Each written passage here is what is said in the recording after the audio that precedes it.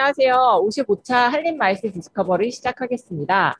오늘은 메타버스, 요새 가장 관심 있는 핫한 주제인 것 같아요. 뭐 모두가 다 모든 산업에서 메타버스를 어떻게 적용할 것인가 이런 이야기들이 많이 나오고 있는데 그런 메타버스에 관련된 내용들을 MICE 산업에 어떻게 적용할 수 있을까에 대해서 플래넌 마스의 강윤구 CEO님을 모시고 이야기를 좀 들어보도록 하겠습니다. 사실 제가 우리 강윤구 CEO님을 한 번도 뵌 적은 없어요. 한 번도 뵌 적은 없고 여러분들도 아마 아실 텐데 이벤트 관련돼서 오픈 채팅방이 있어서 거기에서 이제 핫하게 강윤구 CEO님께 사람들이 브로셔를 요청하고 뭐 이렇게 되면서 아 저분을 한번 모셔갖고 제가 메타버스에 대한 이야기 들어보고 싶다라는 생각이 들어서 부탁을 드렸고 그렇게 돼서 이제 모시게 됐습니다.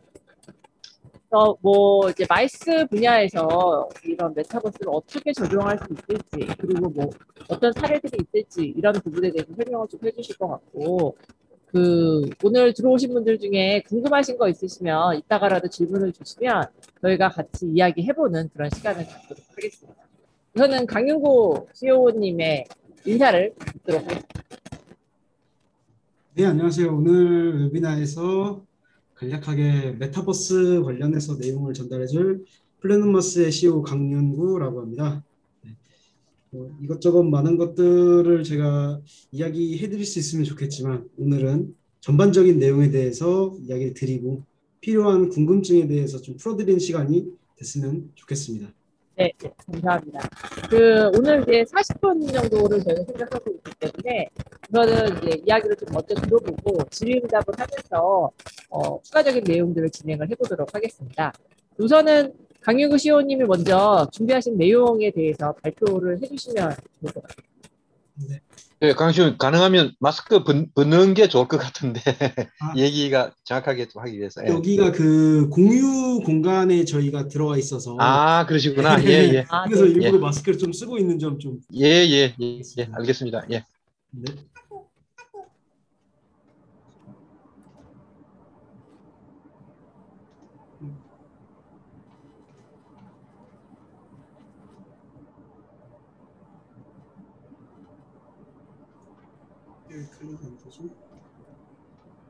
어, 화면이 혹시 멈춘 건 아닌가요? 네네, 화면이 지금 멈춰 있는데. 잠시만요. 음... 네, 혹시 화면이 공유가 되나요? 지금? 그냥 화면이 멈춰 있는데. 음, 그럼 제가 빠르게 재접속을 하도록 하겠습니다. 아, 네. 네네네. 아, 죄송합니다. 저희가 아마 통신상의 문제인 것 같은데 지금 그 오늘 이제 발표해 주실 강민구 플래너마스 CEO께서 어, 진행을 시작하려고 했는데 화면이 멈춰갖고 다시 나갔다 다시 또 저희가 종료를 해주세요.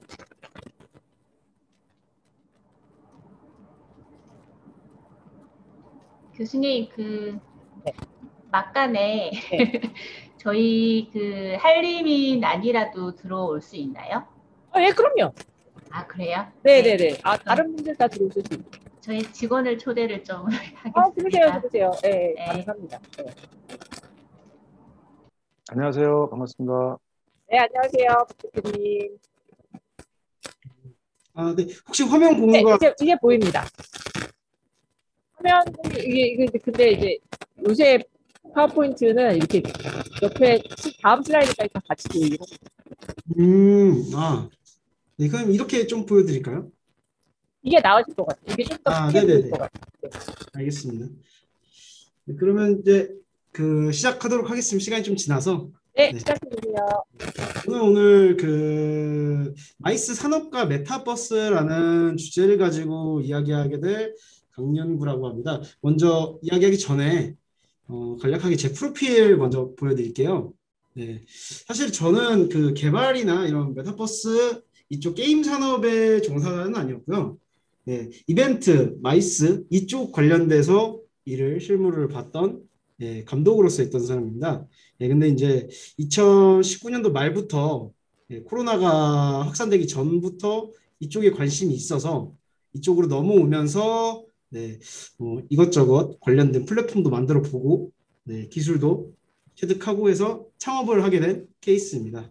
네. 그러면 오늘 이야기를 하기에 앞서 또 제가 뉴스를 좀 찾아봤는데요. 그러니까 네이버의 메타버스라고 치면은 가장 최근에 나온 뉴스들 몇 가지를 좀 봐봤습니다. 그 중에 하나는 CJ ENM이죠. CJ는 대한민국에서 문화예술을 가장 선도하고 있는 큰 대기업이죠. 이 대기업에서도 뭐 K 콘텐츠가 전 세계를 석권할 것이라고 얘기를 하고 있고요. 어, 사실 CJ는 굉장히 이 그 기사 나오기 한참 전부터 한 2, 3년 전부터 메타버스나 이런 가상 공간에 대한 촉각을 곤두세우고 있었고 실제로 여러 가지 그 앞선 실행들을 하고 있습니다. 그 예시로 하나는 어, 이따가 뒤에서 말씀드릴 Unreal Engine이라는 프로그램이 있는데요. 그 엔진 프로그램을 개발한 Epic Games라는 미국 회사가 있습니다.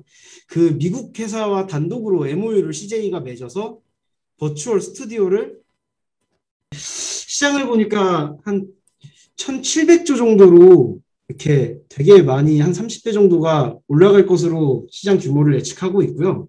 네, 그래서 뭐 롯데도 네, 뭐 비전 VR을 인수했다라는 기사도 보게 됐고요.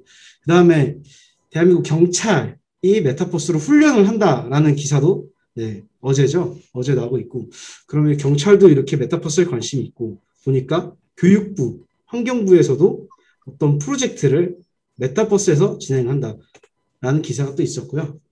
그 다음에는 이제 관광공사에서 네, 문체부랑 같이 해서 시상식을 진행했던 또 기사가 올라오고 있습니다. 그리고 농업, 건설, 기계 이쪽 1차 산업이죠. 1차 산업 쪽에서도 메타버스를 활용해서 무엇인가를 한다 라는 기사도 보게 됐고요. 뭐 이건 당연히 아시다시피 뭐 엔터 쪽, 네, K-pop, 뭐 아티스트 분도 메타버스 확장 현실을 아울러서 어떤 예술적인 거를 보여주겠다라는 기사도 있었고요.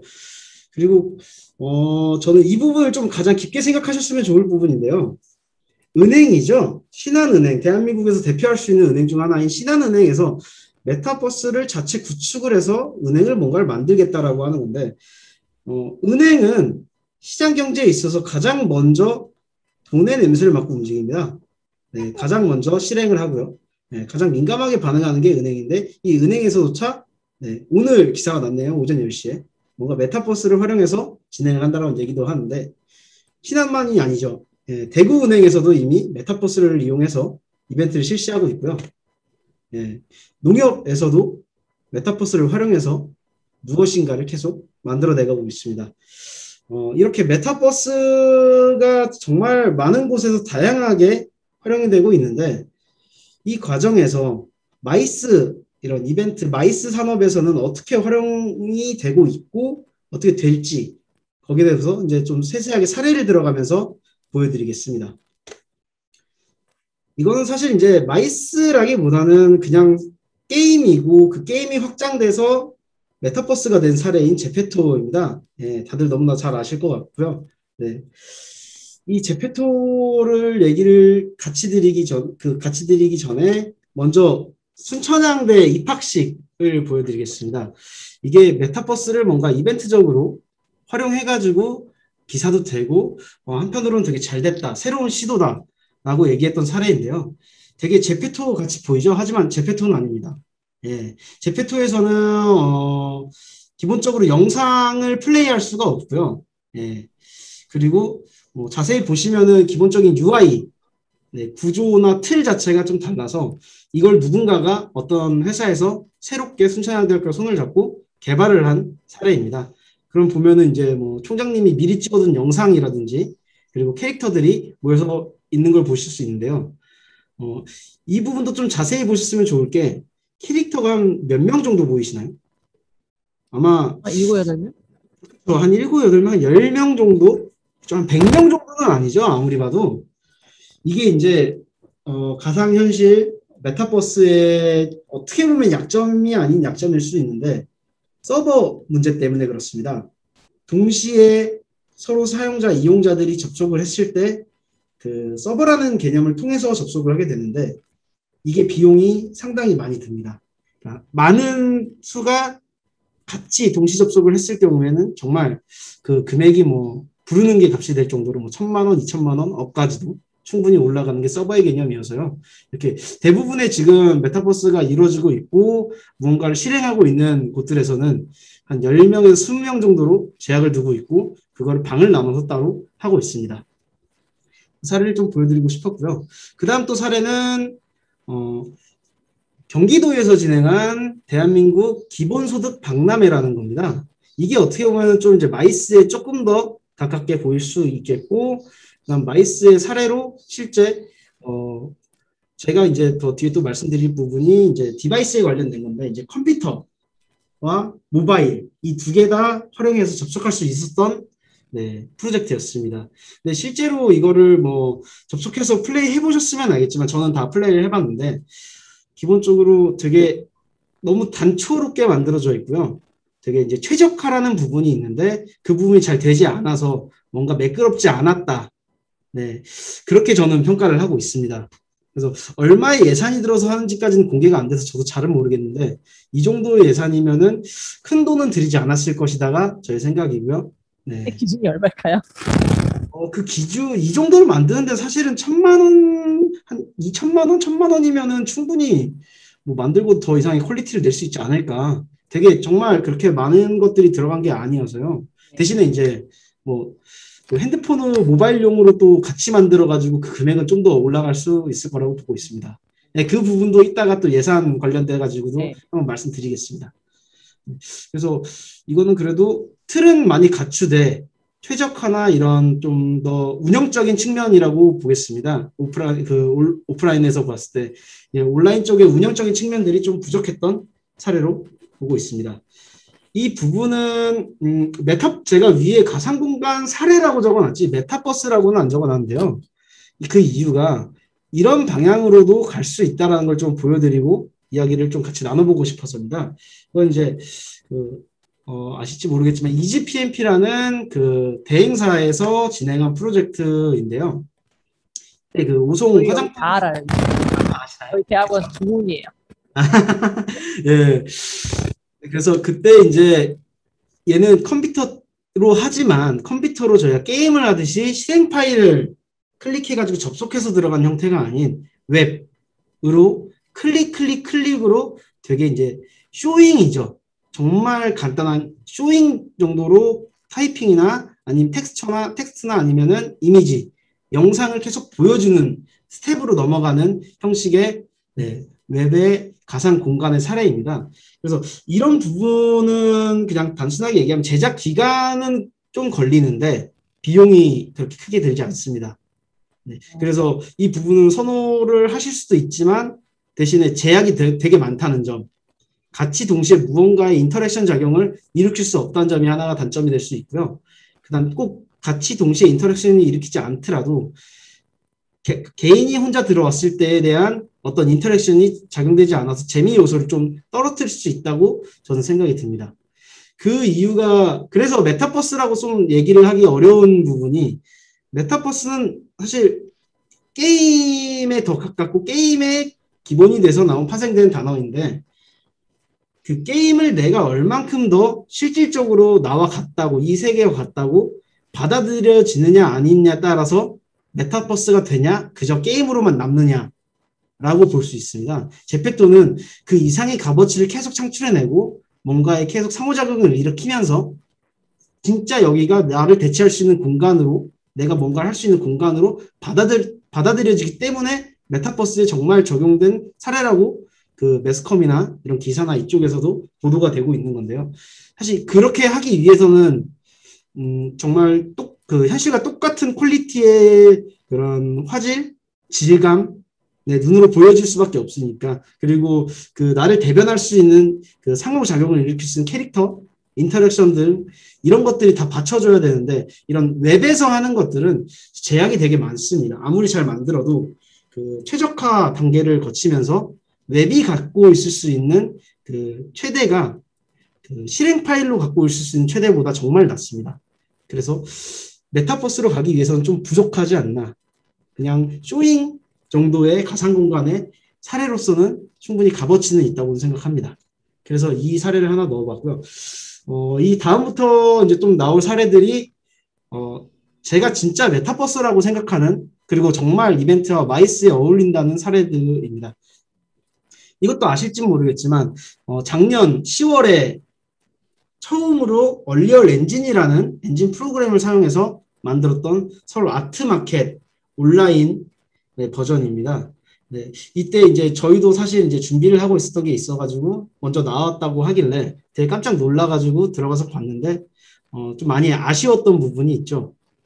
어, 채팅, 뭐 메시지 남기고 서로에 대한 사실 이제 MICE라는 게 부스에 기업들이 들어와서 자신의 정보나 제품을 보여주고 그다음에 그의 확장성을 가져가는 그게 이제 중요한 가치로서 이제 다가올 수 있는 건데 어, 그 부분들에 있어서 되게 잘 적용을 해놨습니다. 뭐 리플렛이라든가 아니면 명함을 교환할 수 있다든가 아니면은 그 회사의 홈페이지에 연동돼 가지고 넘어갈 수 있게 한다든가 그리고 그 이용할 수 있는 부분들이나 그런 제품들을 내가 3D 캐릭터로 자유롭게 움직여서 볼 수 있다는 자유도 이런 부분에 있어서 참 메타버스와 참 어울리게 만들었는데요. 그나마 좀 아쉬운 부분 중 한 가지는 최적화가 잘 되지 않아 급하게 또 만드셨더라고요. 그래서 되게 고사양의 quality를 요구했습니다. 물론 모바일은 만들지 않았고요.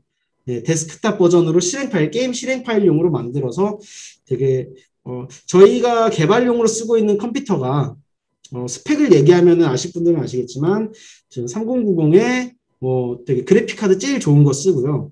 네, 그런 최고 사양의 PC방보다 더 좋은 사양에 쓰는데 그 사양에서만 잘 돌아가지 그 예를 들면 PC방에 있는 컴퓨터 좋다는 사양으로는 조금 버벅이는 부분이 있었습니다.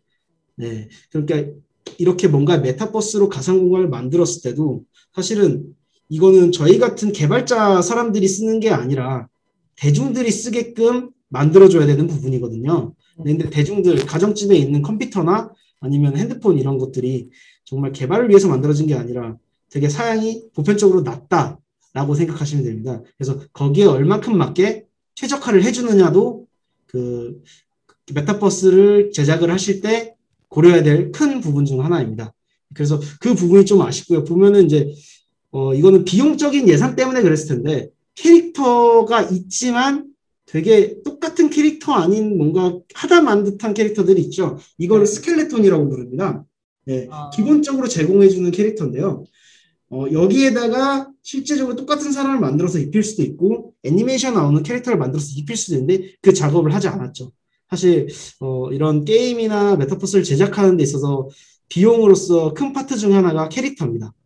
캐릭터가 어떻게 움직여야 할 것인지 그 캐릭터를 어떻게 똑같이 디자인해서 만들 것인지 근데 이제 그 부분이 상당히 이제 고액이다 보니 그 부분을 뺐던 것 같고요. 네, 그래도 공간 자체를 되게 디스플레이나 이런 것들을 그 오프라인에 있는 박람회와 동일하게 만들어서 그래도 괜찮다는 네, 생각이 있었습니다. 그나마 정말 이벤트, MICE 이런 축제 이런 분위기에 맞게 만들어진 메타버스라고 저는 생각이 듭니다. 여기에서는 당연히 영상도 플레이가 됐고요. 네, 여러 가지 뭐 effect들이 많이 적용됐던 사례를 사례로 기억합니다. 어, 그 다음에 보여드릴 건 리얼이라는 겁니다. 이것도 아마 아시고 계실 것 같은데요. 예, 이거는 총 3개의 회사가 합작해서 만들었습니다. 예, 원래 이런 MICE의 가상 공간 리얼 이 부분은 다시 처음부터 말씀드리자면은 바이오테크라는 MICE와 이런 박람회를 가상으로 옮기고 싶었던 회사와 3D 컨텐츠를 VR, AR, MR을 만들던 비빔블이라는 회사와 원래 대행을 자주 맡던 유니원이라는 이 세 개 회사가 국가의 지원금을 받아가지고 만들게 된 네, 프로그램입니다. 게임이죠, 아, 어떻게 보면. 아. 그래서 여기서 되게 많은 지금 크고 작은 프로젝트들이 열리고 있습니다. 음. 어떻게 보면은 어, 이 리얼이라는 프로그램은 launcher의 개념으로 좀 말씀드리면 편할 것 같은데요. 한 공간 안에 여러 개의 네, 기획된 방을 컨셉을 만들어서 거기에 맞게 예를 들면 커피 박람회가 될 수도 있고 pet 박람회가 될 수도 있고 여러 컨셉의 박람회들이 많을 수 있는데 그 컨셉에 맞는 박람회들을 기간별로 오픈해주고 꾸며서 거기에 맞는 컨텐츠를 제공한다의 취지가 있습니다. 네.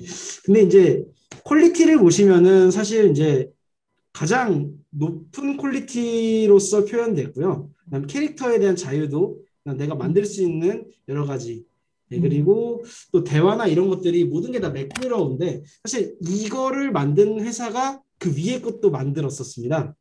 네, 근데 그거를 한번 아까, 리, 아까 그 뭐죠? 아, 서울 아트마켓? 네네네. 아, 네. 이거를 만들어서 한번 사실 이거는 실패했다고 그 네. 나중에 기사도 났는데 네.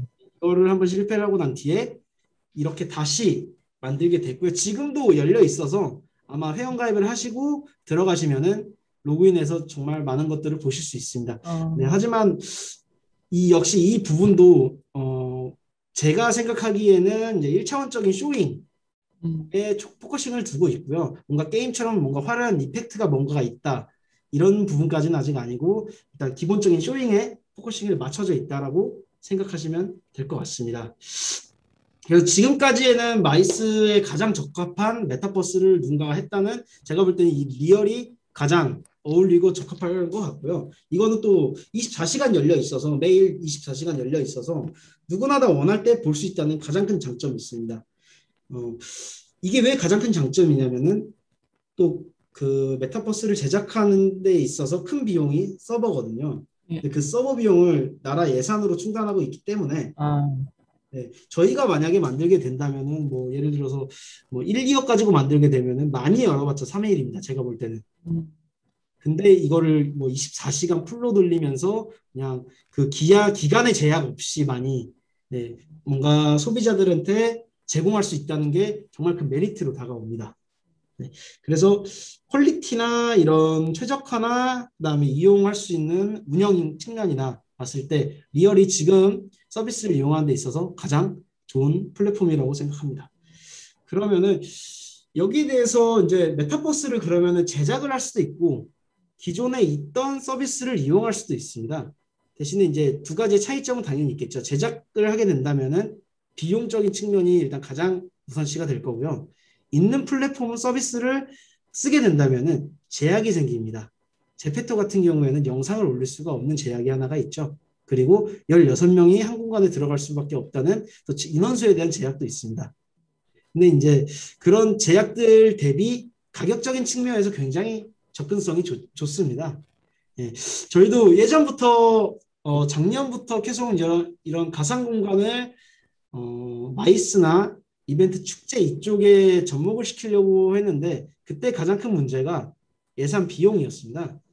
예, 이게 어, 국가에서 측정한 예산대로 하면은 절대 할 수가 없고요. 저희는 다 이제 인건비가 그 견적서에 나오는 예산 비용인데 그것보다 더 낮춰도 그런 원래 산업이 갖고 있던 시장 규모에는 맞지 않더라고요. 그 부분도 좀 뒤에서 좀 더 디테일하게 말씀드리겠습니다. 그 부분에 앞서도 지금 그 문제점을 조금 이렇게 기사와 같이 그 텍스트로 제가 정리를 해봤는데요. 이 부분은 이제 서울 아트마켓이 처음 시작할 때는 굉장히 최초의 뭐 버추얼, 뭐 가상 공간, 뭐 이런 여러의 단어들로 메타버스의 단어들로 이렇게 정리가 돼서 되게 찬양을 받았었는데 한 3일인가 지나고부터는 되게 안 좋은 기사들이 좀 많이 나왔었습니다. 그 중에 하나를 제가 이제 발췌해 왔는데 접속이 끊기고 참여율이 저조했다. 라는 말을 좀 더 쉽게 풀어드리자면은 접속이 끊긴다는 거는 그 최적화가 되어 있지 않아서 내가 접속을 했지만 접속이 되지 않는다. 다 이렇게 하라는 대로 다 했지만 되지 않는다. 그래서 이거 어떻게 이런 상황이 왔다는 거고요. 접속이 끊기는 부분은 일단 최적화가 잘 되지 않아서 네. 일반 가정집이나 대부분 사무로 쓰시는 분들이 노트북 많이 사용하시죠. 음. 노트북 되게 사양 낮습니다. 네, 음. 그 부분에 있어서 제대로 작동하지 않고 캐릭터가 움직이지 않고 클릭을 했는데 한 5분이 걸리고 이러는 부분에서 접속이 끊긴다는 이야기가 되게 많이 나왔었고요. 네, 그다음 참여율 저조 같은 부분에서는 어, 데스크탑을 이용해서 다운로드를 받아서 설치를 해서 실행을 해야 됩니다. 사실 지금 10대, 20대, 30대 분들까지는 굉장히 잘 사용하실 수 있습니다. 그 부분에 있어서 많이들 해보셨고 했던 부분이. 괜찮은데 네. 네, 조금 연령층이 높아지면 높아지거나 아니면 더 낮아질수록 접근성이 떨어집니다. 이걸 다운로드 받고 뭘 설치하고 뭘 인증받고 하는 것부터 벌써 머리가 아프거든요. 그쵸. 네, 그래서 이제 그것 때문에 그냥 접속 자체를 안 해서 참여율이 저조해집니다. 그래서 이제 어, 이 문제는 사실상 타개를 해 나갈 방법이 크게 없습니다. 결국에는 데스크탑에 그 메타버스를 실행하는 방법이 총 세 가지가 있는데요. 크게 한 개는 데스크탑, 한 개는 어 그 웹, 그리고 한 개는 어플리케이션 이렇게 총 세 가지로 나눠져 있습니다. 네. 그나마 어플리케이션은 핸드폰 보급률이 좋아 많이 이용하셨어서 되게 많이들 사용을 하십니다. 음. 하지만 여기서 또 문제가 있습니다. 어플리케이션이라는 것 자체가 핸드폰에서 구동되다 보니 device 자체를 구동되다 보니 핸드폰이 갖고 있는 사양을 따라갈 수밖에 없습니다. 그래서 아무리 좋게 멋있게 잘 만들어 놓은 그 파일과 그런 실행 파일이어도 핸드폰에 가면은 그 퀄리티가 완전히 떨어집니다. 할 수 있는 게 제약이 많아지죠. 그런 문제점이 하나가 있고 웹은 아까 말씀드렸다시피 웹 또한 그 퀄리티나 이런 제약이 많아서 아무리 잘 만들어놔도 그걸 다 수용할 수가 없습니다. 그럼 결국에는 이걸 다 수용하고 받아들일 수 있는 장비로 만들어진 데스크탑용으로 가야 되는데 데스크탑용으로 갔을 때는 접근성이 떨어지는 문제가 있어 거기에 대한 이제 선택과 집중을 할 필요는 있습니다. 아니 근데 제가 제가 중간에 죄송한데 아, 네. 접근성의 문제도 있지만 데스크탑은 아까 사양의 문제도 있는 것 같아요. 네네 맞습니다. 데스크탑이 있어도 사양도 맞춰줘야 됩니다. 꼭 데스크탑만이 갖고 있다고 뭐 다 되는 것도 아니고요. 잘 말씀해 주셨다시피 사양 또한 이게 같이 어우러져야지 되는데 근데 이 사양은 사실 개발 단계에서 해결을 할 수 있는 부분이 있습니다. 아, 최적화 부분을 저사양, 중사양, 고사양 정도로 기본적으로 이렇게 세 단계에 걸쳐 나눠 놓게 되면은 저사양으로 돌아갈 수 있게 또 할 수는 있습니다. 네, 그래도 이제 고사양이어야지 그 좀 더 원활하고 잘 만들어진 진짜 리얼리티하게 진짜 내가 메타버스에 들어와 있다고 느낄 수 있도록 즐길 수는 있습니다. 예, 그래서 이런 문제가 또 있었고요. 그 다음에 이제 텍스트에 대한 설명을 좀 드리자면은 사실 그 예산 모든 게 이제 돈이 많고 예산이 여유로우면은 다 할 수 있죠. 근데 그 예산 자체가 그 코로나 19로 인해서 크게 늘어난 것도 아니고 오히려 더 감축됐으면은 이제 좀 감축됐던 시장이 있었습니다. 예, 그 상황에서 홍보나 이렇게 기존 기본에 해왔던 예산 집행률이 있는데 그거 외에 새로운 지금 가상 공간 메타버스에 대한 예, 예산을 투입해야 되는 상황이죠. 근데 이게 어떻게 게임으로 만들어지다 보니까 그 게임 자체를 만든 인력에 대한 금액이 되게 그 높습니다. 인건비 그렇죠. 자체가. 음. 그리고 그 사람들은 사실 이런 어, 메타버스를 만들려는 사람들이 아니라 진짜 플레이하고 노는 게임 게임을 만들던. 보니까 네. 이거를 만들어 달라고 얘기를 들었을 때, 어? 이 돈에는 절대 안 만들어. 어, 이 게임 뭐 200억짜리 다 만들어야 되는데, 어, 막 몇 천만 원짜리 내가 안 해요, 안 해요. 이렇게 시장이 사실 작년, 재작년에 어, 많이 어. 형성이 되었습니다. 예, 그래서 이런 예산에 대한 문제 이슈가 되게 많았었고요. 그 다음에 이제 어, 두 번째 뭐 비용과 전문성 부족이라고 제가 적어놨는데 전문성에 좀 더 focusing을 둬서 얘기를 한번 드려보겠습니다.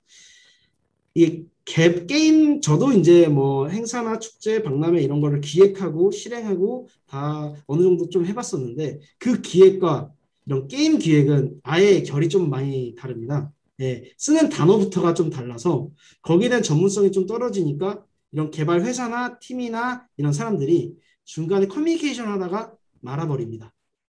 어, 대화가 안 돼. 안 그래도 나 금액을 다 안 받고 하는데 왜 내가 이렇게까지 해야 돼?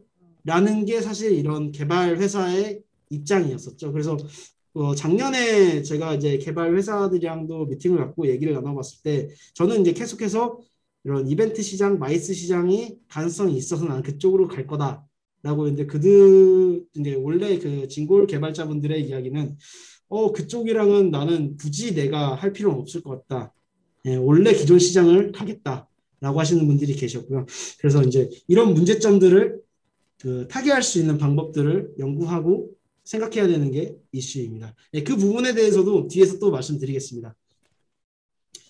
어, 이게 이제 어떻게 보면 이제 비대면 이벤트 프로세스라고 제가 뭐 이렇게 기본적으로 틀을 적어놨고요. 그다음 이제 잘 보셔야 될 게 이제 가상 공간 제작 프로세스인데 네, 이 제작 프로세스도 어, 기획을 하시는 분들이 보셨으면 참 도움이 될 것 같습니다. 이런 메타버스를 제작함에 앞서서 저희는 이제 제작을 할 때 처음에 도면이 있냐 없냐를 따 어, 처음에 그 가상 공간을 제작하고 메타버스를 만들기 전에 그 예를 들면은 학교로 비교해 보겠습니다. 학교에서 어 저희 이 건물과 똑같은 운동장가 해가지고 이렇게 공간 만들어 주세요 하면은 사실상 도면이 필요합니다. 가장 먼저 도면이 있고 없고의 차이에 따라서 비용적인 측면도 그, 그 되게 차이가 많이 나고요. 그 다음에 제작 기간 차이도 엄청나게 많이 듭니다. 그래서 뭔가를 똑같은 걸 만들고 싶다 하실 때에는 꼭 도면이 있어야지 원활한 작업이 됩니다. 예. 도면이라는 그래서- 건 설계도 이런 거 말씀하시는 네네 맞습니다. 네. 예.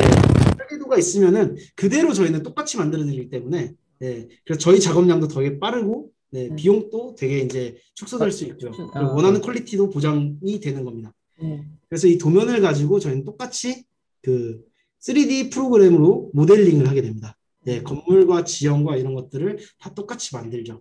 네, 그 만든 거를 가지고 저희가 최종적으로 저희는 이제 Unreal Engine이라는 엔진 프로그램을 사용합니다. 네, 그 엔진 프로그램에 그 다른 3D 프로그램에서 왔던 거를 넘겨서 최적화를 일단 1차 최적화를 하고요. 그 다음에 질감. 그 처음에 그릴 때 뭐 바로바로 이게 뭐 바닥이다, 흙이다, 뭐 하늘이다 이게 설정되는 게 아니라 저희가 다 만들어서 그걸 또 입혀주는 작업이 있는데 음. 그 작업을 그 매트리얼 및 텍스처 작업이라고 합니다. 음. 이 작업을 거치고 그 다음에 옆에 이제 환경 나무나 잔디 뭐 이런 자연 환경물들부터 해가지고 해서 최종적으로 레벨이라고 부르는데 이게 이제 레벨 하면 뭐 게임의 레벨 1, 2 올라가는 그 레벨이 아니라 저희 개발 쪽에서 부르는 레벨은 공간을 레벨이라고 부릅니다. 하나의 한 공간 자체를 레벨이라고 부르고요. 그래서 그렇게 레벨이 완성이 되고 그 다음에 이제 기타적인 어, prop이라고 부르는 부분은 이제 사물이라고 쉽게 생각하시면 됩니다. 네, 필요한 뭐 컴퓨터나 의자나 아. 네, 마우스 이런 것들도 있어야 디테일이 살고 네. 네, 작용이 되죠. 네, 그런 것들을 디자인해서 다 치고 마지막에 이제 필요한 영상, 이미지, 이제 네, 컨셉에 맞는 것들이죠. 이런 것들을 합성해가지고 제작을 하게 됩니다. 네, 근데 사실 이제 이벤트에 계시는 분들, MICE 산업에 종사하시는 분들, 이런 분들이 이런 디테일한 과정을 이제 막 이 시장이 열리기 시작해서 잘 모르세요. 예, 그래서 이런 부분들을 알고 접근하시면은 뭐 꼭 저희 회사가 아니더라도 어느 그 팀과 회사와 사람과 협업을 하실 때 좀 더 원활하게 잘 진행을 하실 수 있을 거라고 생각이 듭니다. 네, 그래서 진짜 정말 많은 과정을 필요로 해서 이 부분이 좀 네, 전문적인 지식이 필요합니다. 네, 그래서 아까 뭐 이 부분도 저 그 뒤에 얘기하면서 다 얘기했던 부분인데 네. 어, 그냥 간단하게 또 말씀드리자면은 서울 아트마켓은 어, 2억 정도에서 제작비가 1억에서 1억 5천 정도 그 썼을 거로 추측이 되고요. 네, 서울 아트마켓. 네. 그리고 여기서 아마 서버비가 한 또한 몇천 정도 들지 않았을까라고 예측이 됩니다. 이 2억이라는 거는 어, 제가 나라장터에서 봤고요. 네. 네, 공지가 대구가. 올라와서 그걸 봐가지고 추산을 한번 해봤습니다. 네, 네. 그 정도 규모가 저렇게 들었다라고 일단 예측을 하면 되실 것 같고요. 어, 그 다음에는 이제 어, 예산으로 넘어가기 전에 업무 협업에 대해서 또 말씀을 드리고 싶습니다. 만약 그러면은 어, 이제 딱 어, 얼추 이제 메타버스를 아시겠고, 근데 이거를 진짜 할 의도가 있으시고 얼추 예산도 좀 있으실 때 같이 이제 기획에 들어가야 됩니다. 어떤 거 만드시겠습니까?라고 저희가 물어 여쭤보고 그러면 이거 이거 이거 딱 그러면 여기서 무엇을 살릴 것인지 이 예를 들면은 어 박람회여도 세레머니가 중요한 박람회가 있을 수 있고 아니면 진짜 부스에 대한 기업의 제품이 잘 도드라지게 보여줘야 되는 박람회가 있을 수도 있습니다. 예, 그런 컨셉에 대해서 통합적으로 기획을 해서 focusing을 한번 맞춰주고요. 그 다음 위에 적혀있지 HTML은 웹이고요. 어플리케이션 앱이죠. 그 다음 데스크탑 실행 파일은 exe 파일입니다. 이게 세 가지로 나눠진 이유는 이 세 가지 중에 어떤 걸 내가 할 건지를 결정해야지 돈을 최소화할 수 있습니다. 그러니까 아, 어떤 방식으로 할지. 네. 네, 이게 뭐 사실 만들어 놓고 덮어 씌우기는 쉽지만 다 만들어 놓고 덮어 씌우기는 어렵거든요. 네. 그래서 가장 돈이 절, 덜 들고 기간 대비 빨리 만들 수 있고 하는 게 어, 둘 다, 셋 다 하면 너무 좋겠지만 비용이 없다 보니 한 가지를 먼저 결정을 하고 진행하는 게 제가 봤을 때는 가장 MICE 이 산업의 그 적합한 기관과 금액이 될 것 같다고 생각이 듭니다. 네. 그렇게 해서 이제 이걸 웹에 더 맞게 접근성에 맞게 갈 건지 아니면 어플리케이션에 맞게 예를 들면 어플리케이션은 어, 20, 30대가 좀 더 더 타겟이 될 가능성이 높겠죠. 음. HTML은 그 전 연령층에 대한 타겟이 될 거고요. 그다음 데스크탑 실행 파일은 사실은 이제 20, 고사양 30대에 컴퓨터가 있어야 되니까. 조금 더 그 컴퓨터에 좀 더 잘 아는 네, 네, 사람들이 전문적인 특정 타겟이 될 수 있습니다. 네. 아, 많은 타겟으로 들 수는 없고요. 음. 그렇게 이제 어떤 device를 할 건지를 결정이 됐다면 그 다음에 모델링을 얼마만큼 그 몇 개를 할 건지 그리고 어느 정도의 면적으로 할 건지 그거를 정하게 됩니다. 거기에 따라 또 이제 비용이나 기간이나 이런 게 차이가 있을 수 있어서 그걸 정하고요. 그 다음에 이제 기능 구형인데요. 기능 구형은 예를 들면은 어, 건물을 하나 만들어놨다 해도 내가 가까이 갔을 때 문이 열리는 것과 내가 가까이 갔을 때 터치를 하거나 어떤 키를 눌렀을 때 문이 열리는 것 이것도 차이가 있습니다. 이런 걸 모든 걸 다 기능이라고 합니다. 아, 어, 예를 들면은 어, 그 사용자가 어떤 부스 앞에 갔을 때 영상이 플레이 돼가지고 제품 소개가 이루어질 건지 가까이 갔을 때 눌렀을 때 홈페이지에 링크가 연동이 될 건지 음.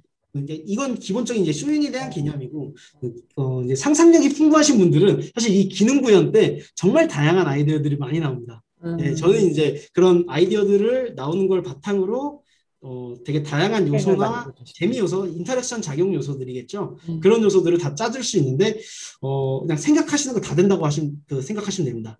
애지간한 것들은 뭐 비용이나 기간의 차이가 좀 있을 수 있겠지만 네, 거의 다 된다고 생각하시면 됩니다. 음. 네. 그렇게 이제 기능 구현을 해가지고 어떻게 보여줄 것인지가 되면은 최적화 단계에 거치고 배포가 이루어지게 됩니다. 네. 이게 이제 큰 틀이고요. 물론 이제 어, 협업을 하게 될 때 회사마다 스타일마다 하는 사람마다 다 조금씩 다를 수는 있습니다. 네, 방식이나 과정은. 근데 이제 이 큰 틀을 머릿속에 이해하시고 그 업무를 보시게 된다면은 좀 더 더 순탄한 작업이 될 수 있을 거라고 생각이 됩니다. 어, 이거는 이제 어, 아까 보였던 개발 프로세스에 대한 내용이고요. 이거는 아까 설명을 들었으니까 네, 네. 넘어가도록 하겠습니다. 네. 그 다음에 이제 제작 비용 이제 예산이죠. 사실 네. 이제 이거 이 부분을 가장 여기 들어오신 분들이 이제 궁금해하시고 네. 네, 그렇게 이제 생각, 왜냐면 이 윗부분들은 이제 아실 분들은 또 이제 많이들 아시, 아시더라고요. 아, 네. 관심이 많으신 분들은. 네. 네, 이제 제작 비용에서 첫 번째 페이지에 이제 제가 띄워놨던 거는 Unreal 엔진과 Unity 엔진입니다. 네. 이 두 가지 또 관심이 있으신 분들은 많이 아시겠지만 이 두 가지의 차이가 굉장히 큽니다. 어, quality의 차이도 크고요. 비용의 차이도 큽니다. 기간의 차이도 큽니다. 쉽게 말해서 Unreal 엔진 그 엔진이라는 친구는 되게 고quality입니다.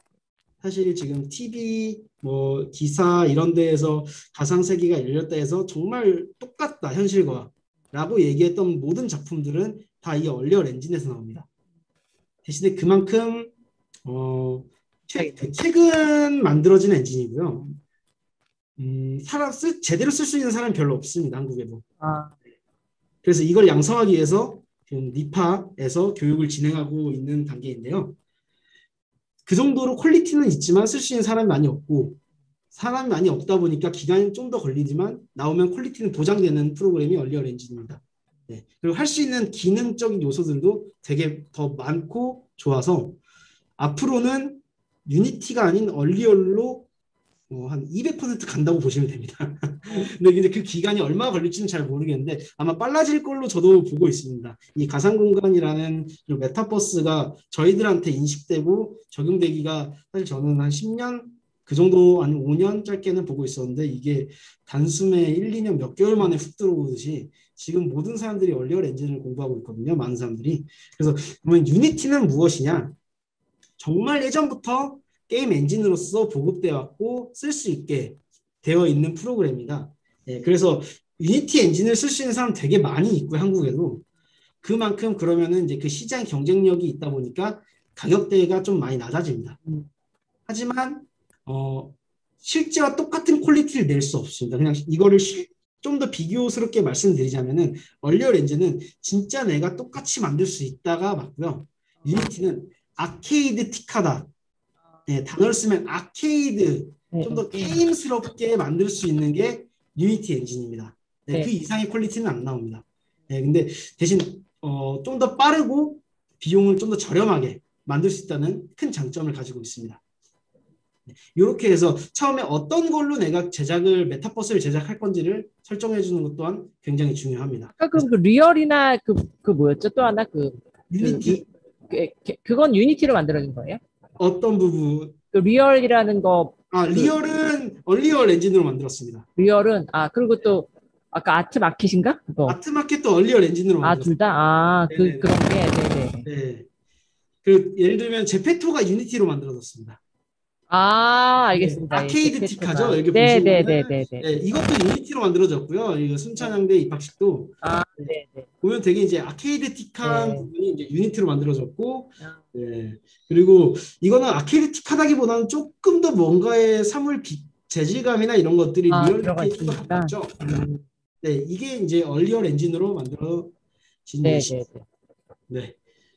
그 다음에 또 이제 제작을 하기에 앞서 먼저 생각을 해주시면은 제작에 도움이 될 것들을 크게 네 가지는 먼저 공간, 그리고 사물, 그리고 캐릭터, 그리고 접속량 이라고 일단 표현을 했습니다. 이게 이제 개발 쪽에서는 레벨, asset, rigging, 서버 아니면 트래픽, 양 이렇게 이제 얘기를 하는데요.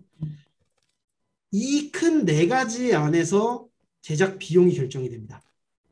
그러니까 뭐 예를 들면은 알아보신 분들은 계시겠지만 뭐 메타버스 하나 만들려면은 그냥 어 우습다 음. 이런 게 뭐 뭐 몇천 명이 동시 접속이 돼야 되고 막 서울 광장 크게 하나 만들어야 되고 건물 다 만들어야 되고 막 이런 것들인데 이런 것들도 사실 당연히 비용이 적용되는 게 맞는데 제가 아까 얘기했듯이 이벤트 시장과 그런 이런 메타버스 게임 개발과 접목해서 충분히 가능하다라고 저는 생각했던 게 선택과 집중을 하면 된다고 보고 있습니다. 예를 들면은 어 나는 코엑스 A홀을 똑같이 만들고 싶은데 거기에 뭐 벽 기둥의 그 재질감이나 뭐 이런 건 사실 중요치 않다고 생각을 하거든요. 음. 그냥 그 홀의 느낌이 나게 그리고 그 홀의 면적만큼 잘 짜여지고 이쁘게 만들면 된다고 생각이 드는데 이제 그 차이에서 디테일이 있습니다. 얼만큼 어떤 거를 더 핵심적으로 만들 것인지 예, 그 디테일에 대한 먼저 생각을 해주시면은 충분히 가격과 기간이 맞춰질 수 있을 것 같고요. 그 다음에 개수죠. 이 개수는 부스를 예를 들면은 하나를 만든다고 했을 때 이 하나를 똑같이 복사 붙여넣기 해가지고 많이 여러 개로 갈 건지 아니면은 정말 어, 독립 부스에서 여러 회사들이 독립 부스를 여러 개를 둬가지고 하는 것처럼 경쟁을 해서 디자인 이쁘게 이쁘게 다르게 해가지고 할 건지 음. 당연히 제가 이야기한 후자의 내용대로 하게 되면은 여러 개를 많이 만들어야 돼서 비용이 올라가고 기간이. 늘어나겠죠. 네. 네. 그런 협의점과 타이점을 맞추면은 어. 충분히 가능하다고 보고요. 어. 예. 그다음 기간은 어, 이 서비스를 소비자들에게 얼만큼 오픈할 건지에 대한 겁니다. 며칠 동안 네. 네. 이게 이제 서버비가 정말 막대하고 많이 들다 보니까 어, Unreal도 그리고 ZEPETO도 제약을 걸고 있습니다. 예, 한 방에 16명으로 제약을 걸고 트래픽 수가 많이 드는 영상 자체는 아예 첨부할 수 없도록 되어 있습니다. 네, 물론 이제 어, 예를 들면은 뭐 구찌에서 같이 콜라보도 하고 특정 뭐 연예인들하고 콜라보를 했을 때 영상 이런 거는 해줍니다. 특정한 케이스에서는 사실 다 됩니다. 제페토에서도. 근데 개발팀에서 풀지 않을 뿐이죠. 네, 여러 이슈들이 생길 거를 뻔히 알고 있기 때문에. 네, 그래서 이 기간, 서버에 대한 트래픽에 대한 기간을 어, 이벤트에 맞게 최적의 시간과 시- 그 최적의 기간으로서 줄이게 된다면은 충분히 저는 가능하다고 생각을 들고 있습니다. 어, 메타버스를 제작을 하셨을 때 비용이 문제가 된다면은 그 왼쪽에 보이시는 공간, 사물, 캐릭터 접속량에 대해서 한번 생각해 주시고 그 다음에 디테일, 개수, 기간에 대해서 좀 줄이거나 선택과 집중을 하시면은 충분히 예, 이벤트 시장과도 그리고 MICE 시장과도 어울리는 예, 금액대와 기간이 선정 설정될 수 있다고 생각이 들고 네, 있습니다. 네. 그리고 이 외의 것에 대해서 비용이 나온다고 하는 것들은 솔직히 말해서 어, 저는 이렇게 당당하게 얘기할 수 있습니다. 사기꾼이라고. 아. 네, 그러니까 이 시장이 되게 이제 막 확장되고 하고 있다 보니까 어 저도 막 또 다른 사람 다른 분들이 이제 저희한테 문의를 때어 이거 비용이 너 이렇게, 이렇게 많이 들어서 안 된다는데요라고 하는 거 보면 이제 얼토당토한 얘기들이 되게 많은데 어, 이 시장 자체가 많이 없고 형성이 안 돼 있다 보니까 그런 분들 그런 회사들이 어느 정도 좀 있는 것 같더라고요. 네, 그래서 이 부분만 예, 생각하시면 됩니다. 네. 그래서 이것도 아까 이제 그 네. 시간이 없어가지고 미리 이제 다 만들었던 거고요. 네. 아 그리고 이제 어플리케이션으로 하실 경우에는 꼭 등록 기간을 고려하셔야 됩니다. 아, 디바이스에 맞게 구글 플레이어에 등록할 수도 있고요. 안드로이드는 네 그리고 아니면 어, 그. 그 애플은 애플에 맞게 네. 예, 등록할 수가 있죠. 그거에 또 따라서 등록 기간이 걸리는데 어, 작년부터 코로나 이슈로 인해서 등록이 지연됩니다라고 그 계속 그 얘기가 나오고 있어서 여유롭게 한 2주 정도 어, 어플리케이션은 생각하시면 됩니다. 아, 네, 이렇게 2주 정도로 마감 일자를 잡으시면은 충분히 원활한 기간 내에 예, 배포가 될 수 있고요. 네. 네. 이제 어, 이 비용에 대해서 좀 더 디테일하게 네네네. 말씀을 드리면은 어, 제가 이제 위에 써놨듯이 제작 비용과 그 예시 이건 사실 이제 제작 대비 지금 단계에서는 실패로 저는 이제 보고 있는데 도면이 있지 않는 새로운 장소를 만들긴 했습니다. 아트마켓은. 하지만 비슷한 구조로 크게 달라지지 않는 비슷한 구조의 총 네 가지 장소를 만들게 되었고요. 그다음에 채팅, 뭐 위젯, 미니맵, 그다음에 기본적인 설정, 뭐 알람, 뭐 명함 주고받기는 어, 기능에서도 되게 기본적으로 취급하고 있습니다. 개발 쪽 사람들은 그런 기본적인 기능들이 들어갔고, 그 다음에 캐릭터 모델링이 되지 않았고, 네, 리깅은 캐릭터의 움직임입니다. 예를 들면은 제페토 같은 뭐 하트도 하고 손 모양도 하고 뭐 어떻게 뭐 여러 가지 모양을 어, 취할 수 있는데 그게 없이 그냥 이제 어, 걷기와 달리기만 적용을 시켜놔서 그런 어, 뼈대에 대한 rigging 또한 제대로 이루어지지 않았고요. 예, 그리고 간단한 asset들 뭐 테이블도 뭐 어떤 특정한 화려한 게 아니라 너무 단초롭죠. 생각이 되어 있네요. 네, 너무 단초롭고 그 위에 뭐 아무것도 없고 그러니까 interaction 할 것도 없고 이제 그렇게 돼 있는데 어 그리고 또 이제 예상 동시 접속은 어 아마 기존에 걸어놨던 거는 최대한 100명 정도 로 걸어놨을 거라고 저는 예상을 합니다. 어, 네, 그치만 이제 동시 접속이 한 20명, 10명 그 정도밖에 안 들어온 이슈도 있었고요. 근데 대신에 이제 오픈 기간은 한 일주일 정도로 한 2, 3일씩 뛰어가지고 오픈을 하긴 했었습니다.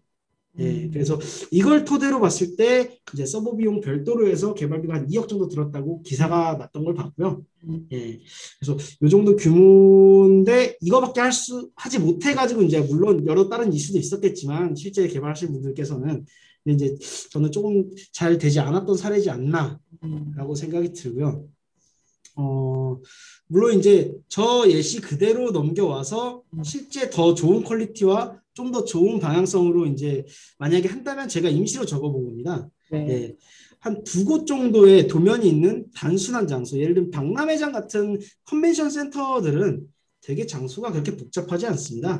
공간이 되게 단초롭죠. 대신에 그 안에 무엇을 꾸미느냐, 예, 거기에 따라서 달라지는 거지. 그래서 이런 도면이 있는 되게 단순한 장소를 타겟으로 잡고, 그다음에 기본적인 기능은 당연하고, 그다음에 캐릭터 모델링은 그 전처럼 안 하고 쉬운 모, rigging을 하든 아니면은 이게 이제 아케이드 형식의 캐릭터를 만들게 된다면은 되게 저렴한 비용으로 캐릭터를 만들 수 있습니다. 예를 들면 제페토 같은 캐릭터죠. 네, 이런 캐릭터는 큰 비용이 들지 않고 되게 빠르고 네, 다양하게 만들 수 있어서 아케이드 형식의 캐릭터를 만들면 좋겠다는 생각을 하고요. 어, 어, 잠깐 나와서 이제 캐릭터에 대해서도 말씀드리고 싶은 게 있는데 어, 캐릭터가 사람과 얼만큼 똑같으냐 네, 따라서 비용은 천차만별입니다. 누구는 천만 원을 부를 수도 있고요. 누구는 10만 원을 부를 수도 있습니다. 네, 그래서 아, 여기가 잘못된 누구는 천만 원이네, 누구는 500만 원이네. 어, 예, 그거는 이제 회사마다 다른 거지만 얼마큼 현실 사람에 가깝냐.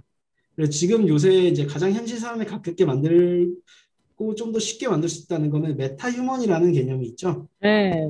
그때만 들어보셨죠? 네, 네. 그것도 Unreal Epic Games에서 만들어 놓은 예, 개념입니다. 어. 예. 그래서 그 서비스를 Unreal에서 적용시킬 수가 있습니다. 아직 완벽하게 나오지는 않았는데 기본적인 건 만들 수 있어서 meta human으로 만들어서 뭔가를 rigging도 제대로 하고 했으면은 금액은 당연히 올라갈 수밖에 없습니다. 네, 사람과 정말 똑같이 생기기 때문에요. 예. 음. 하지만 이제 아케이드 형식은 되게 쉽다, 그리고 빠르고 도- 비용이 저렴하다. 음. 예, 이렇게 생각하시면 되고요. 그리고 간단한 asset 정도 제작을 하고 어, 동접자를 한 100명 정도로 하고 오픈 기간을 한 3일 정도로 맞추고요. 예, 그래서 사람들이 가장 많이 접속할 수 있는 시간대인 1시부터 10시까지 오후 9시간 정도로 기간을 오픈해 두고 예, 오전은 아닌 것 같아요. 이렇게 했을 때 아마 물론 디테일이나 여러 가지를 따져봐야겠지만 개발비가 한 1억 정도 서버비 포함해서 예, 음. 예산이 나올 것 같습니다. 아, 네, 네. 네. 이 정도로 개념을 잡으시면 될 것 같고요. 네. 어, 물론 이제 뭐 제가 볼 때는 천만 원, 이천만 원에는 어려운 얘기일 것 같고 네. 음, 메타버스를 만든다는 얘기는 어, 최소한 5천에서 7천 정도는 있어야지 어느 정도 맞춤형 메타버스가 제작될 수 있다고 판단을 하고 있긴 합니다. 아, 네. 네. 그래서 그 정도의 비용이 든다라고 예상을 하시면 되고요. 어, 이 정도 규모는 이렇게 개발비가 들고 개발 기간은 한 3개월 정도 든다 라고 생각을 하시면 되고 그 여러 가지 디테일에 따라서 아까도 보셨겠지만 정말 많은 변수와 많은 작업들이 필요하는 단계다 보니까 그거 하나하나의 비용이 다 달라지고 기간이 달라질 수 있습니다. 네, 그래서 정확한 비용과 어, 기간은 어, 원하는 니즈에 맞게 달라질 수 있다. 라는 점을 이야기 드리고 싶고요.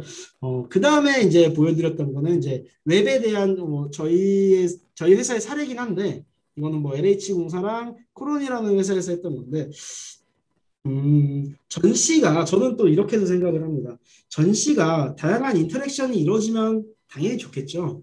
하지만 여러 가지, 어, 기간과 비용의 이슈로 인해서 할 수 없게 된다면은, 전시는 showing에 더 목적성을 두고 있기 때문에 그거를 빠르고 되게 저렴하게 만들 수 있는 웹 접근성을 좀 더 이야기를 해드리고 싶었습니다. 사실 이거는 메타버스라고 볼 수는 없고요. 동시에. 만나서 상호작용을 하진 않습니다. 네. 사실 여러 명이 혼자씩 들어가가지고 볼 수는 있습니다.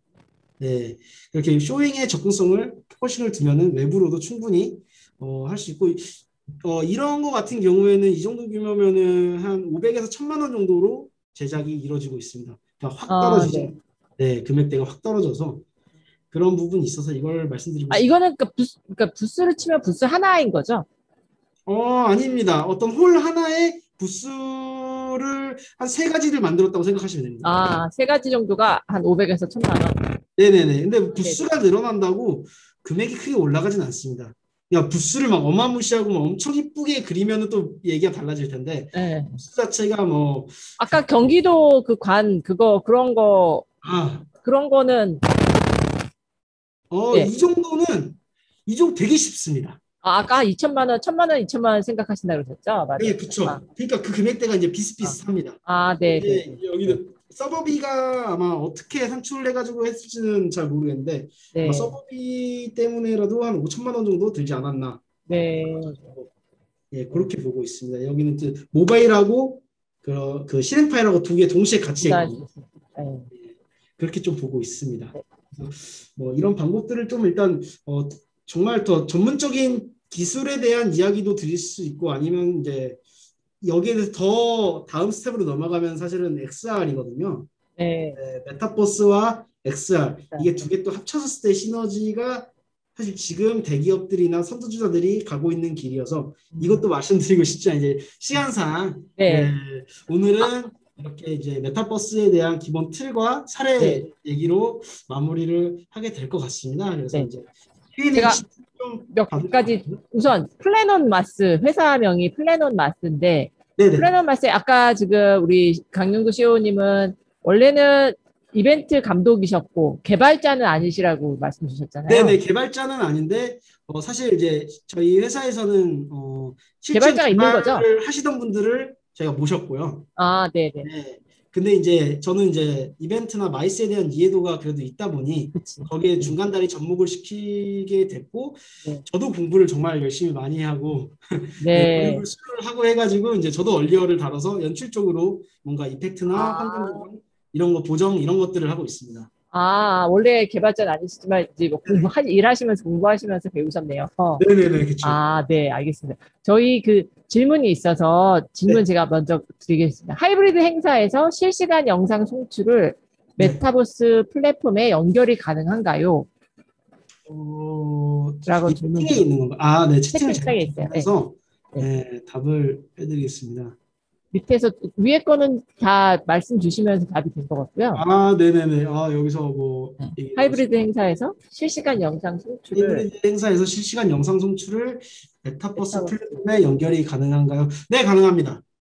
아, 네, 네, 아. 가능합니다. 정확하게 예를 들면은 어, 송출인 부분인데 송출은 URL을 간단하게 심어 가지고 메타버스에 연결하면 됩니다. 네, 대신에 이제 거기에 대한 트래픽이나 서버 비용이 발생을 하겠죠. 그거를 이제 감안해서 네, 네, 이론상으로는 전혀 어려운 게 아닙니다. 근데 이제 메타버스에는 아까 말씀 주신 것처럼 동시 접속은 대부분 16명 정도가 아까 맥시멈 아, 그 맥시멈으로 잡은 거는 제페토에 한한 거고요. 아, 예. 네, 제페토는 그렇게 잡아놓은 이유는 한 공간에 많은 사람들이 상호작용을 일으켰을 때 트래픽이나 이런 것들이 많아지니 방을 쪼개놓은 부분이고요.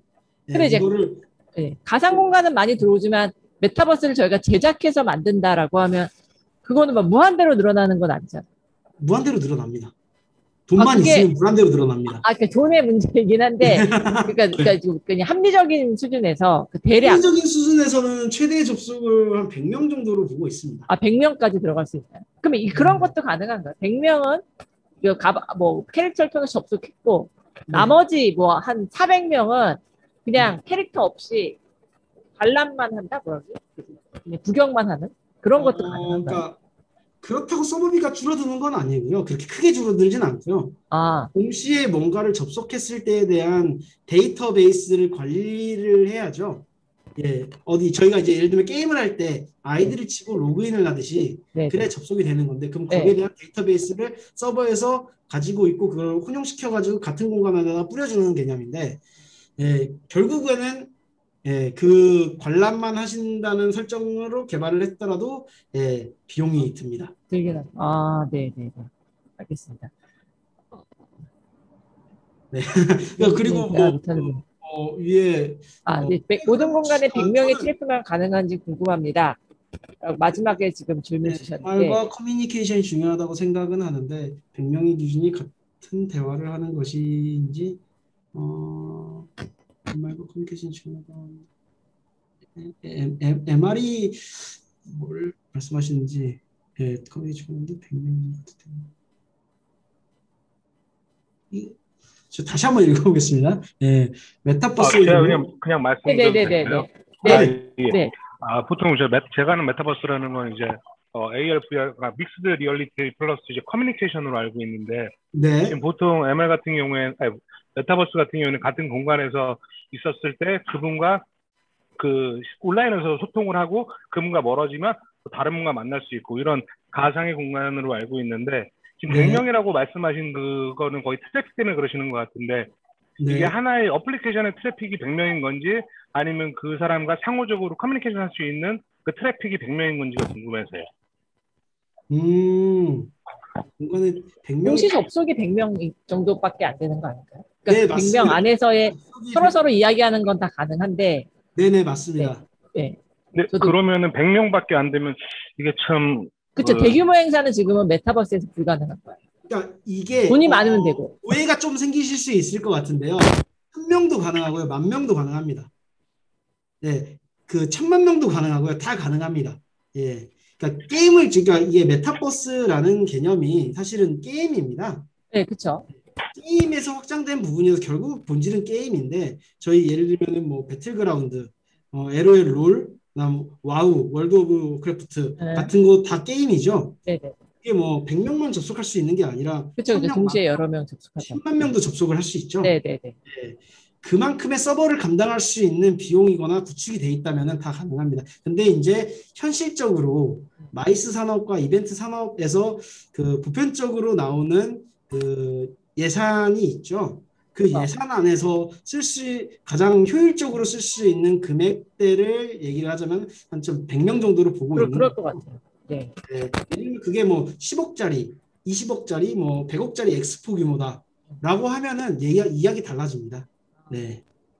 근데 이제 제가 얘기했던 건 한 1억 정도 예산을 가지고 메타버스를 만들어야 된다 하면은 홍보비도 따로 들 것이고 거기에 대한 기타 비용도 따로 들 것이고 그럼 그걸 다 제외한 나머지 금액에서 제작이 이루어져야 되는데 그 금액에 맞는 게 이제 한 100명 정도고 어 이렇게 말씀- 게임은 이제 수익 사업이기 때문에 돈을 벌어서 할 수 있으니까 천만 명뭐 돼도 얼마든지 돈을 벌어서 서버 비용을 감당이 가능한데 우리. MICE 같은 경우에는 등록비는 받지만 그렇다고 뭐 니네가 우리가 다 같이 이번에 2천 명이 동시 접속해야 돼서 서버가 많이 들어가니 등록비 원래 뭐 10만 원인데 이번에는 뭐 다 20만 원씩 내라 이렇게가 불가능하다 보니 그냥 현재 수준에서 갖고 있던 예산으로 이제 동시에 접속할 수 있는 건 한 100명 정도가 저도 이게 저도 이제 오늘 이거를 위해서 저희 황희건 교수님하고 이제 어, 그 메타버스에 대해서 공부를 했는데 다른 분들도 그 얘기를 하시더라고요. 이 동시 접속이 현재 예산 구조에서는 조금 어, 많이 어려. 어렵습니다.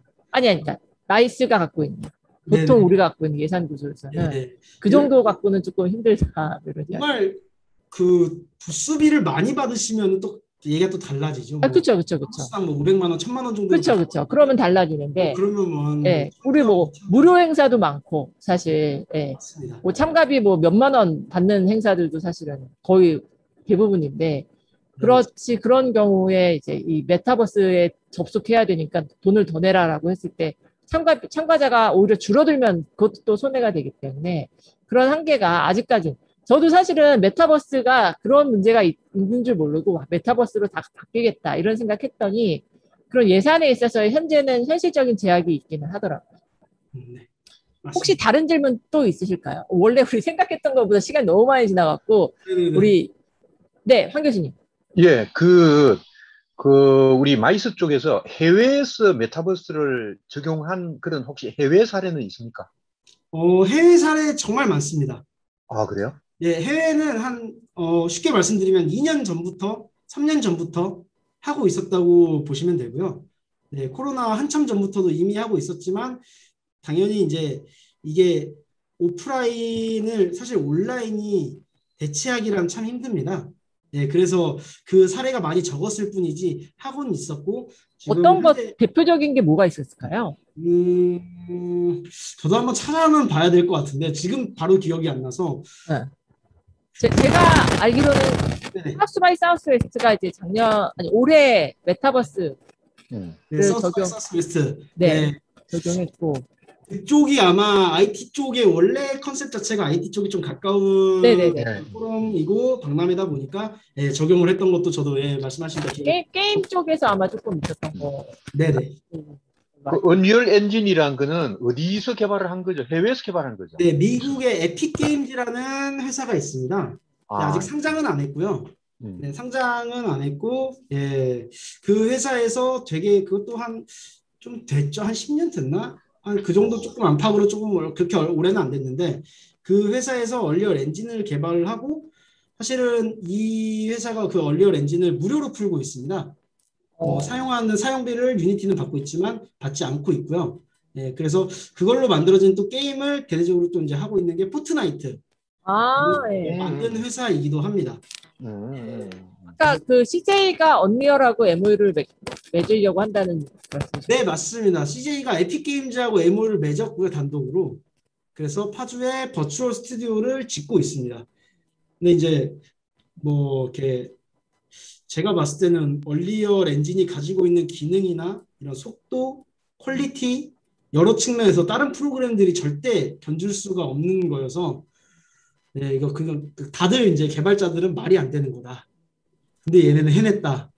라고 하고 있어서 이제 그게 다 모든 거를 다 이끌지 않을까라고 생각을 하고 있고요.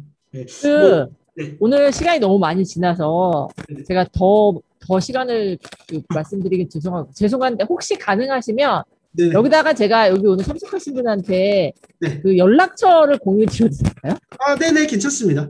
아, 네. 그러면 제가 이 단톡방에다가 이 핸드폰 연락처하고 네네. 네, 같이 해서 아니면 메일? 메일 주소도 같이. 메일, 이메일하고 좀.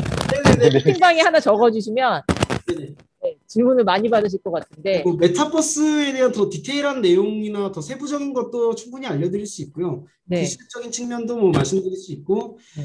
어, XR도 관심이 아마 많으실 걸로 생각이 드는데, XR에 관련된 내용과 지금 XR은 또 XR 스튜디오가 있죠. 예, 버추얼 스튜디오라고 불리면서 XR 스튜디오라고 불리는데 그 부분이 이제 아마 좀 더 공부를 많이 하신 분들은 가장 궁금해 하실 겁니다. 네. 어떻게 구현하고 비용이 얼마가 드는지, 뭐가 필요하고 어떤 프로그램들을 적용시켜야지 완성될 수 있는지 뭐 다 알고 있으니까 예, 궁금한 거 많이 얘기해 주시면은 답변 드리겠습니다. 네, 네, 네, 네. 잠시만요. 제가 끝나기 전에 이메일도 또 이메일 맞으시죠? 리트로드 아, 네, NITL 네, 플래너마스.com 맞습니다. 네, 이렇게 공유 드렸으니까 궁금하신 거 있으신 분들은 직접 문의 주시면 더, 더 정확한 답변을 얻으실 수 있으실 것 같고요. 입으로 요청하신 분도 계신데, 그건 뭐 또 한번 이야 말씀드려보고, 그리고 이분은 조금 더 뭐 심화 과정이나 그 필요하신 내용이 있으면 이야기 되면은 준비해서 뭐 말씀드리도록 하겠습니다. 네, 아, 오늘 긴 시간 너무 준비해 주셔서 감사드리고, 저희도 너무 많은 좋은 공부가 됐던 것 같고요.